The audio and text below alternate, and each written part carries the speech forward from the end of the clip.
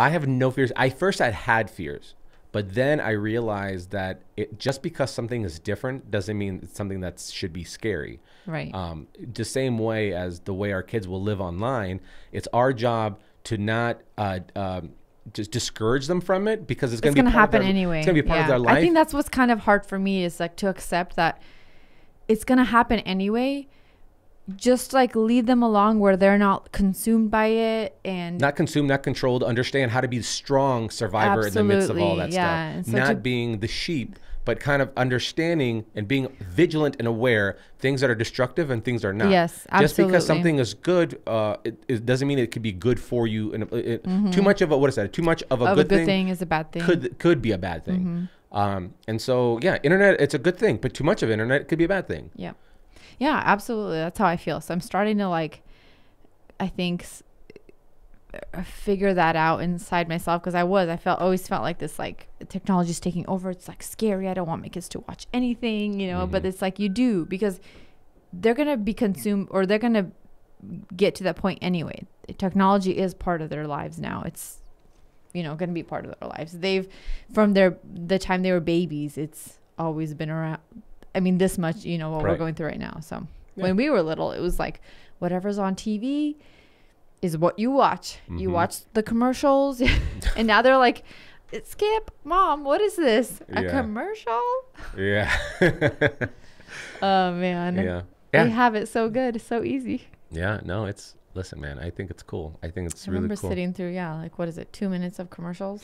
I remember, you them. know, being homesick on a school day, and uh, you're watching Matlock, Price is Right. because it's watching, that's on. Yep. and then you're watching those. You no now that's what. I call music CD at commercial advertisement. Yeah. oh, and the um ShamWow, The ShamWow. Yep. Happy Days. the the nonstick pan, that The non- green yeah. pan. There's so many good ones. But then that time sucked. I know, but we didn't know any better. That's right. the thing. Right.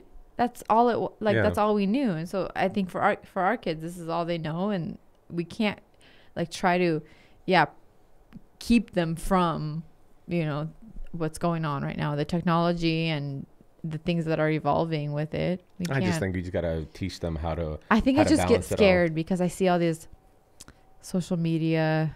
Um, what's the word I'm looking for? Like people having these conversations on social media about how bad some of these video games are for your kids. Are they psychiatrists I, or psychologists? No, it's just moms going. right. So then, what are they? Don't let your kids play uh, Roblox because this and this and this. have and they this. seen studies to show an effect of no, Roblox they, on a on a child? They, their their whole thing is, which I understand this. I just don't know.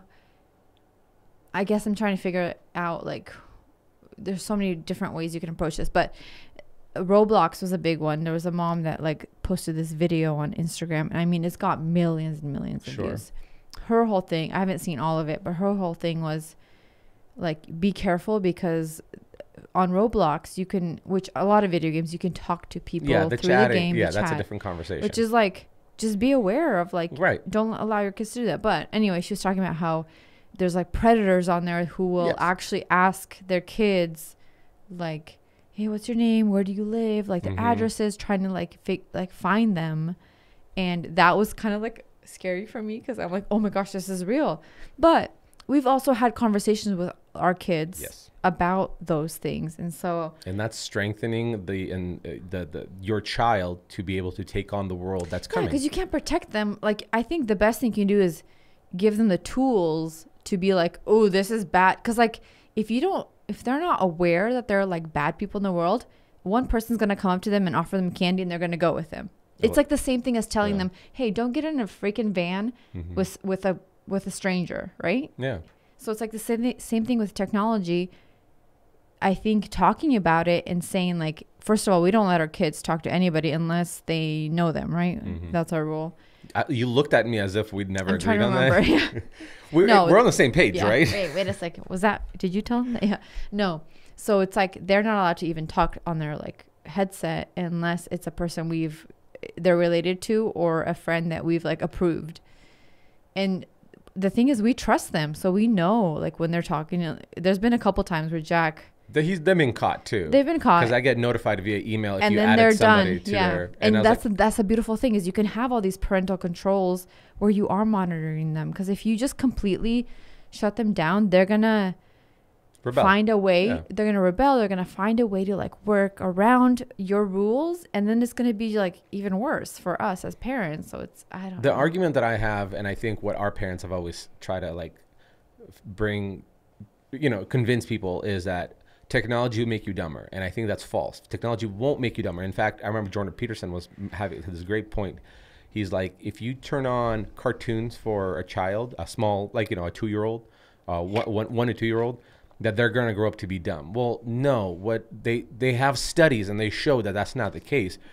What will happen is when that child is uh, has a lack of attention at such a young age, and they're just drawn to this thing, then that might be a disconnect in their development. yeah. So by you leaving a kid in a crib and just turning on cartoons, yes, that will do That's more the damage. more damage, But yeah. if you're interacting with them and they're getting that communicate, their neurons are firing through communication as their brain is trying to figure out every other word that that you're saying in order to understand its meaning. Mm-hmm. That's a different conversation.